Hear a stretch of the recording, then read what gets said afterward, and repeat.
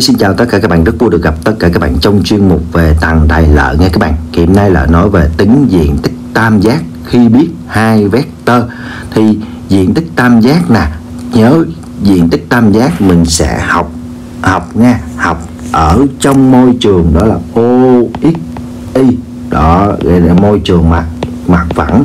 Thì các bạn nhớ đến công thức này.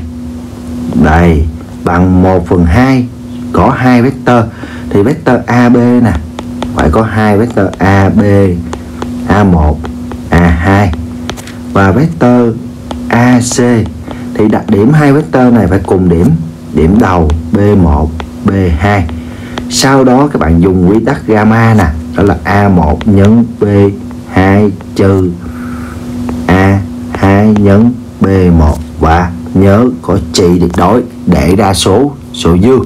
Ok chưa còn nếu trong môi trường không gian OXYZ không gian, thì các bạn nhớ công thức diện tích tam giác ABC sẽ bằng 1 phần 2 độ lớn tức có hướng vector AB nhân với, xin lỗi, tức có hướng vector AB vector A AC ví dụ ví dụ trong không gian nha, vector AB có tọa độ là 1 2 3 vector AC có tọa độ là 2 1 1 được chưa?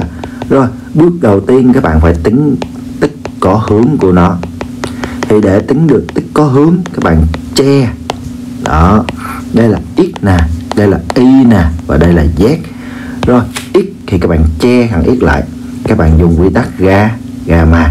2 nhân 1 trừ 1 nhân nhân 3 vậy ra, trừ 1 tiếp tục, thằng y che thằng y lại. Các bạn dùng quy tắc gamma. 1 nhân 1 trừ 2 nhân 3 bằng trừ 5 và nhớ thằng y thêm dấu trừ nữa ra là cộng 5 tiếp tục, thằng z che thằng z lại. 1 nhân 1 trừ 2 nhân 2 ra là trừ 3 khi đã có tích tích có hướng rồi, thì các bạn tính độ lớn của nó độ lớn tích có hướng. AB AC bằng căn hoành bình cộng tung bình cộng cao bình rồi, bấm máy tính.